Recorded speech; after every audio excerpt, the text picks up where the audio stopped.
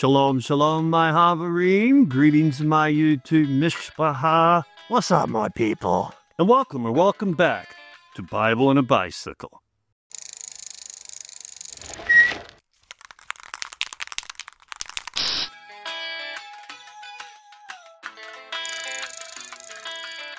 My name is Will, and I'm an aspired follower of Yeshua HaMashiach. You might know him as Jesus Christ. I asked everyone out there last week, I published a little video about Brad Scott, some of his teachings, in a casual interview format, and I asked everyone if they enjoyed Brad's teachings and were interested in seeing more from him. And the response was overwhelming. Everyone said they dug Brad and they'd love to see more of his work. So, in an effort to introduce folks out here on the interwebs to Brad Scott, and in hopes of preserving and promoting his ministry work, which was a huge influence on my early walk with Yeshua, I decided to make some of these here little videos featuring Brad. Check out that description down below. We go in a little bit more depth about who Brad was. But in the meantime, I'm going to go ahead and turn it over to Brad Scott as we talk about the foundation, what that means, what it's all about. So without any further ado, Brad Scott.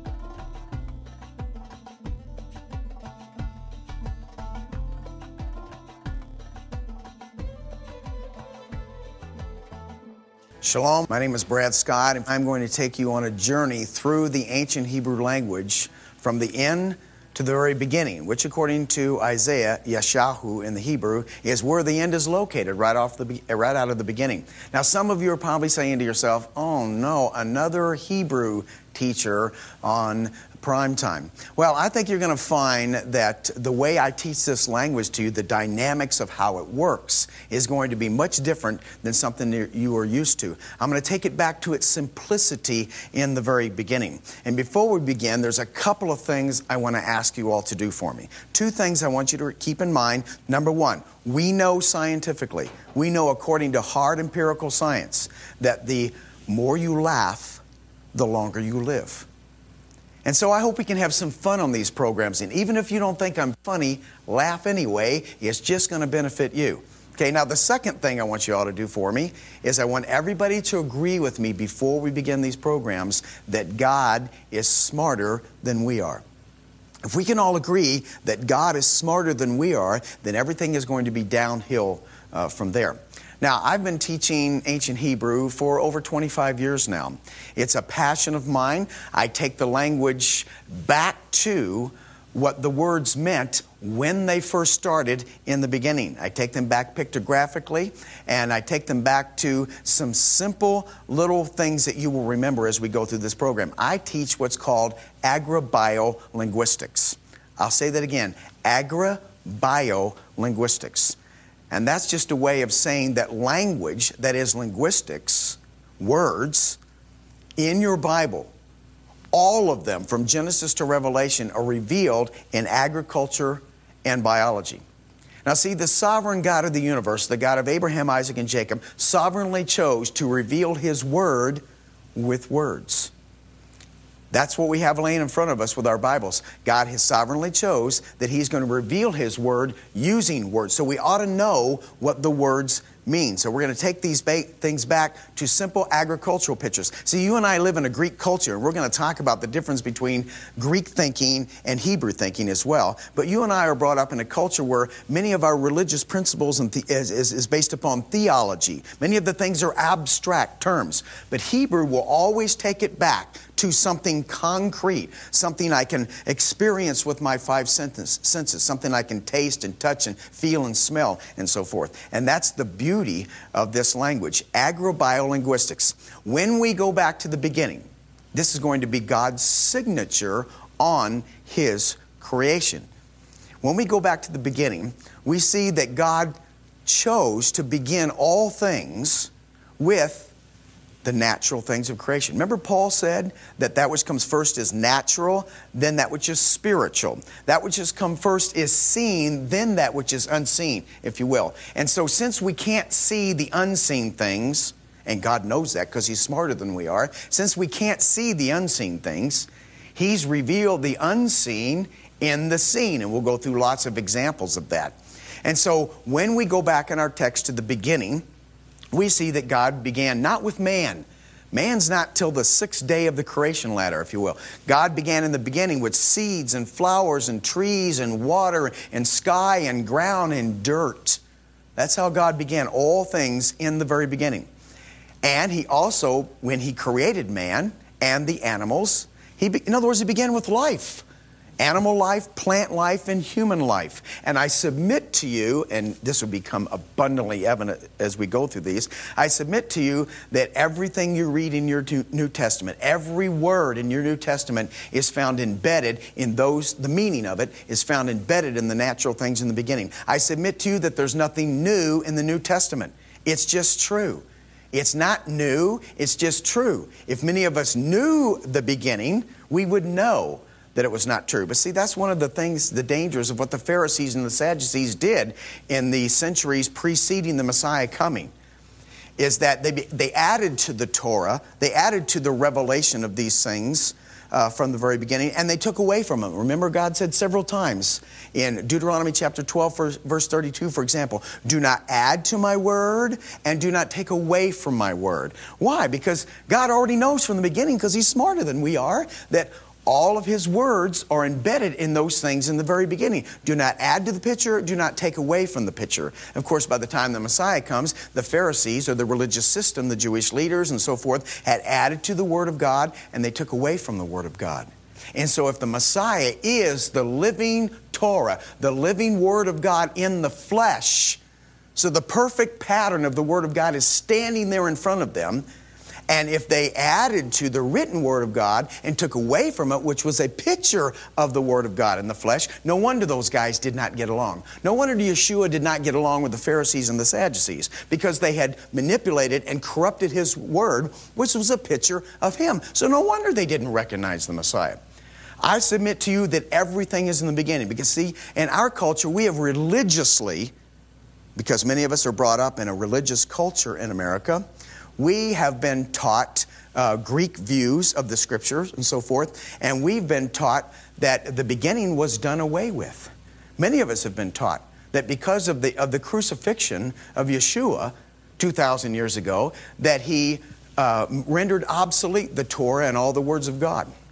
But I submit to you, everything in the Bible is found in the opening chapters of Genesis. So I'll make it very clear to you every teaching, every doctrine, every desire, every will and purpose of God, every prophecy from the Father is revealed and in the opening chapters of Genesis. The first four chapters of Genesis contain everything in the scriptures because the opening chapters of Genesis are like a seed. Everything's in the seed.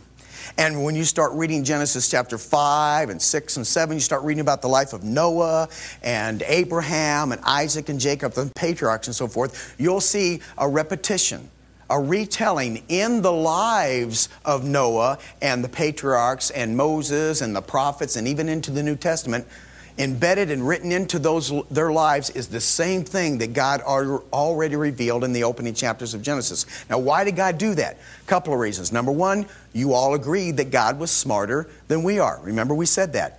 The second reason He did that is because of John 3:16. God so loved the whole world.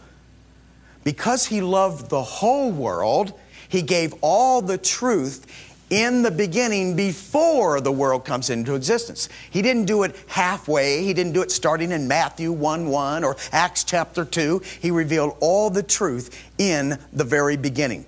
And the more you understand and see this ancient language, as we take it back, the more you're going to see that beautiful picture that I'm, that I'm trying to paint for you. Now remember that in the beginning was the Word. Okay? Many of us have been not, not been taught of the beginning. And so as we take these pictures back, we're going to see that every word in your Bible, from Genesis to Revelation, once again, is found embedded in these simple agricultural pictures. Now you can see on your screen a very familiar verse now. And that is Yeshayahu, that's how we say it in Hebrew. Yeshayahu 46 verse 10. That is Isaiah. Now in your King James Bibles, it says something like God declares the end from the beginning. I have translated a couple of these phrases just like you see them here. because we have been taught that that is a declaration of the fact that God knows the difference between the end and the beginning. But I submit to you in Hebrew it says something far more profound than that. Here's what it says. It says Magid Mereshit Achrit. Isaiah 46:10 says that God declares out of the beginning the end and out of ancient times the things that are not yet done, saying, "My counsel shall stand and I will do all my pleasure." He declares out of the beginning the end and out of ancient times the things that are not yet done. Now that is one of six other times that Isaiah is going to say basically the same thing.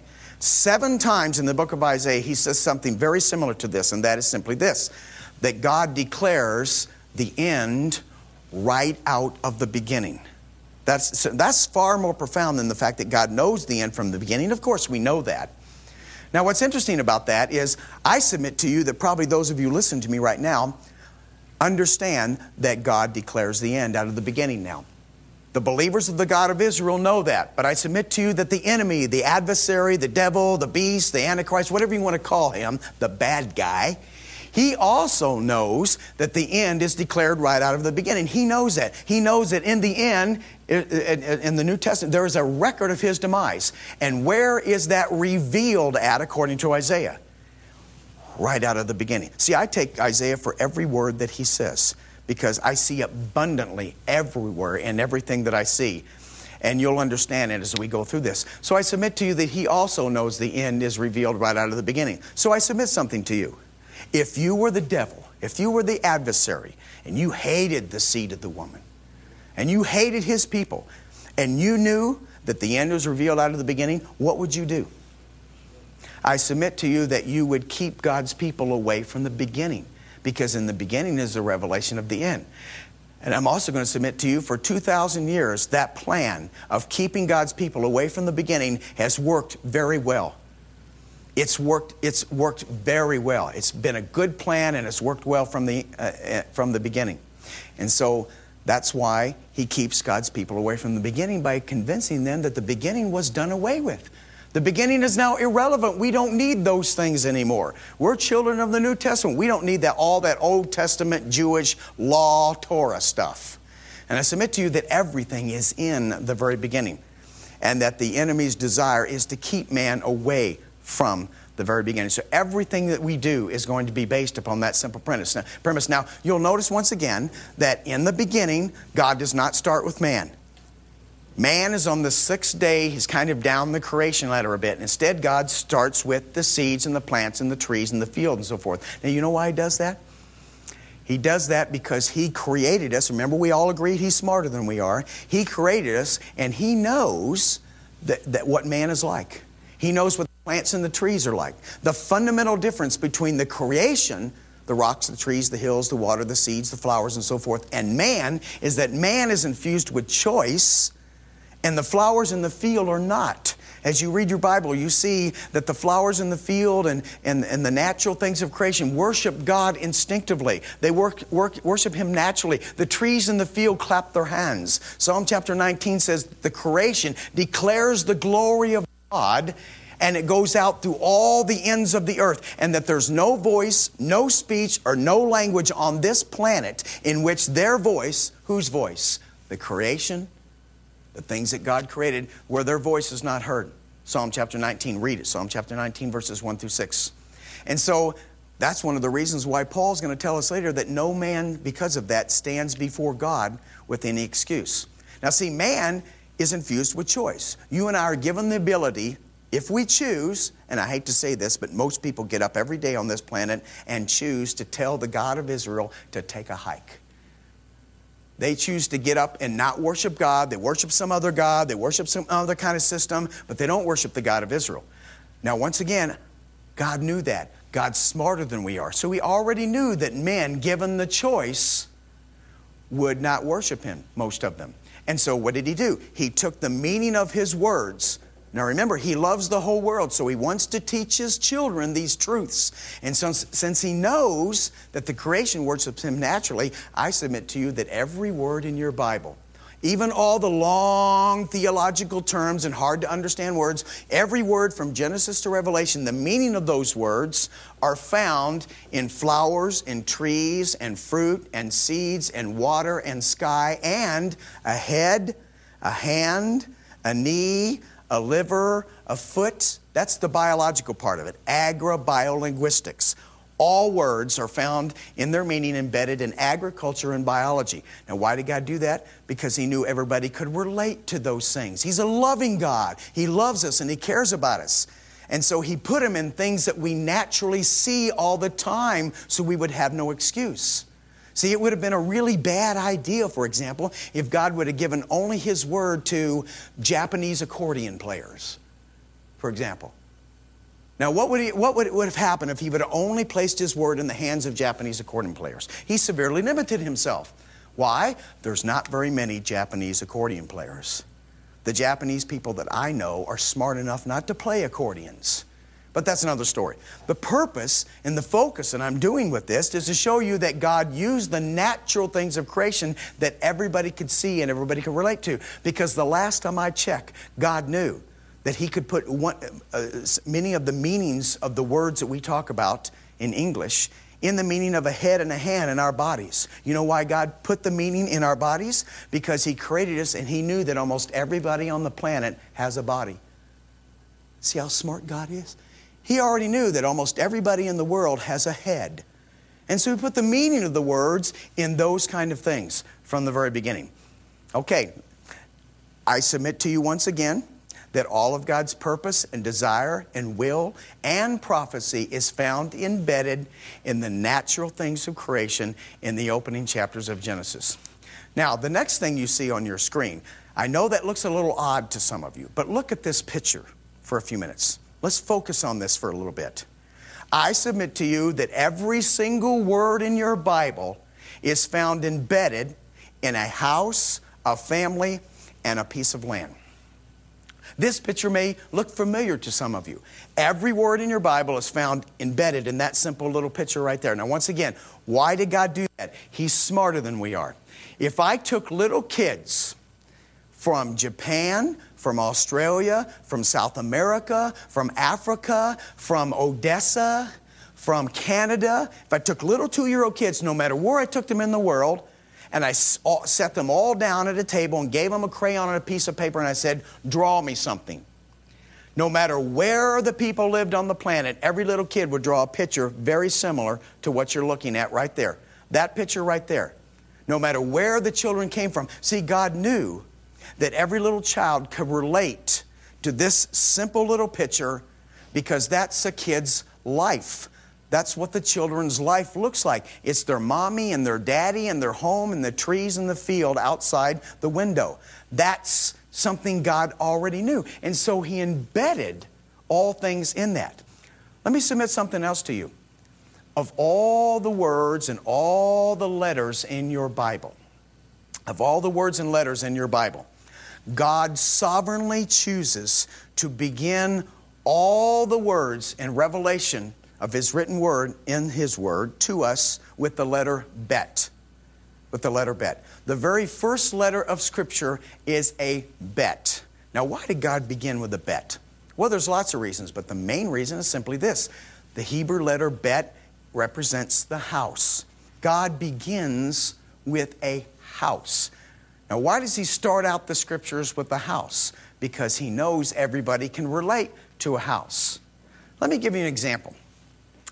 Some of you have perhaps, uh, perhaps many of us who probably watch too much TV, but some of you perhaps watch shows like Lost and Survivor and shows like this. I'm familiar with a couple of them, but, but the premise of these kind of reality TV shows that we're watching lately, if you remember, is that they take a bunch of people and they put them on a plane or stick them on a boat, and what do they do? They take them to some deserted island somewhere and they dump the people off. All kinds of people in all kinds of walks of life, they dump off on an island somewhere. And let me ask you something what's the first thing that people instinctively do when they're on the island?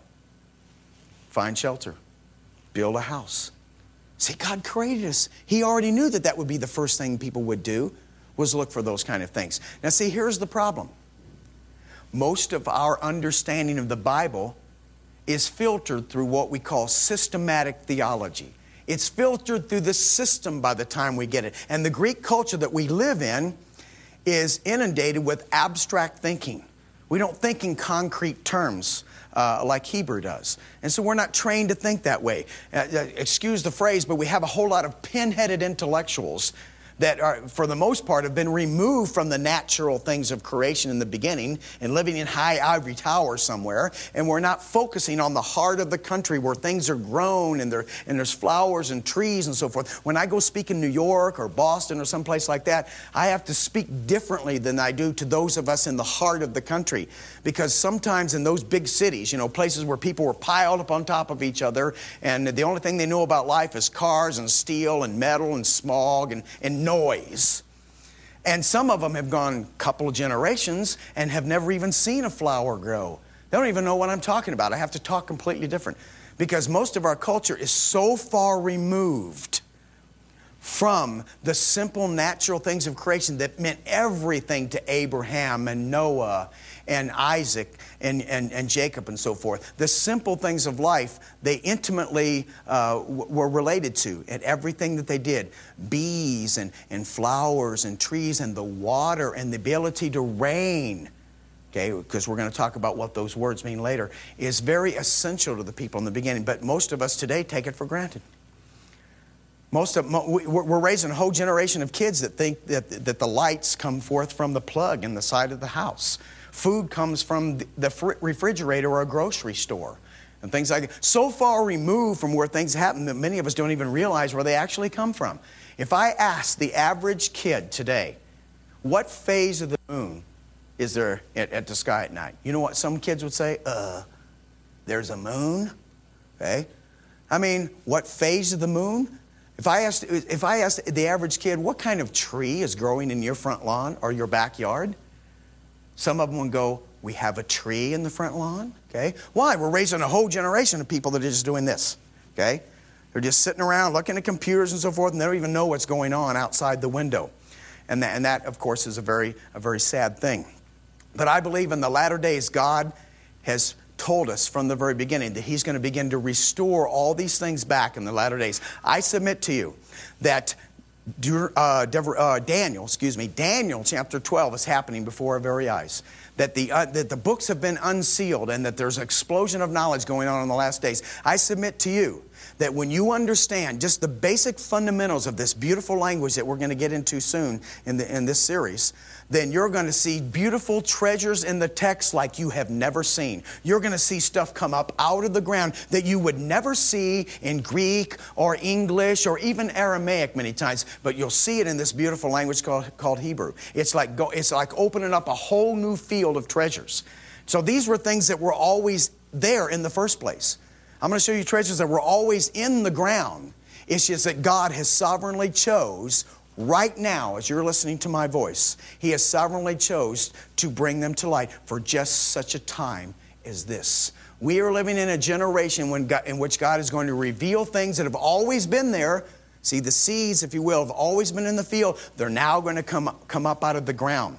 Why? Because God knows it's time. That's why. We're going to talk about things that your grandmother never knew. And that's because it wasn't time for your grandmother to know. It wasn't time for my grandmother to know these things. But God is revealing them now. Why? Because I believe the end is near. The end is close, and God has chosen sovereignly that now I'm going to bring these things up out of the ground. As we, as we go back to the beginning and trace everything in the end right out of the beginning. Because according to Isaiah, once again, seven times he says that is where the end is located. Now, you'll see on your screen Hebrews chapter 11, verse 1. You're all familiar with this place, with this verse. It says, The language and culture of Scripture, I submit to, is born from natural, observable facts Everything you want to know about what's in the Bible, God has embedded in the natural observable facts. That is the creation. That's why the creation is so important, and Yeshua always points back to the creation. The Father always points back to the beginning. Someone will confront him with something and he'll say, Yes, but in the beginning it was not so. Hebrews chapter 11, verse 1. In Hebrew, we say Ivrim. Ivrim 11, verse 1 says this Now, faith is the substance of things hoped for the evidence of things not seen. Now, I want you to look at this verse and see something. That's why I've underlined these two words. Notice that faith is not the thing hoped for, and faith is not the thing that's not seen, which is traditionally what you and I are taught in religious circles. Oh, it's just some kind of blind thing out there that we're following and so forth. According to the writer of Hebrews, faith is the substance of things hoped for, it's the evidence of things not seen. It's something I can taste and touch and feel and smell and experience with my five senses, not the thing that's not seen. Now, I think that's important because we have a whole, we have a whole world, okay, a, a whole culture in which uh, we have atheists and unbelievers and so forth that uh, are trying to convince us that we can't trust what we see with our eyes. See, you and I, as believers in the God, believers in the God of Abraham, Isaac, and Jacob, you know what we see when we look outside the window? We see lemons producing lemons, cows producing cows, chickens producing chickens, monkeys producing monkeys, so on and so forth. That's, what, that's the substance and the evidence that God created that way in the beginning that you and I see when we look outside our window. But what does the atheist and the unbeliever and the evolutionist say to you? Well, I know that that's what you see with your eyes outside the window, but in reality, billions of years ago, See? Now, who's relying on blind faith? Our atheist friends, our evolutionary friends, or us? I submit, you, submit to you that the enemy, because he knows that the end is revealed out of the beginning, is out to corrupt and pervert the beginning. Because he knows if he can corrupt and pervert the beginning, then ostensibly what has he done? He has marred the picture and he's corrupted the end. So the constant struggle of creation and evolution will be constantly going on in our culture and in our society because the enemy knows that that's where the truth is and that's where the end is is right out of the beginning because he's always going to be out to corrupt the beginning.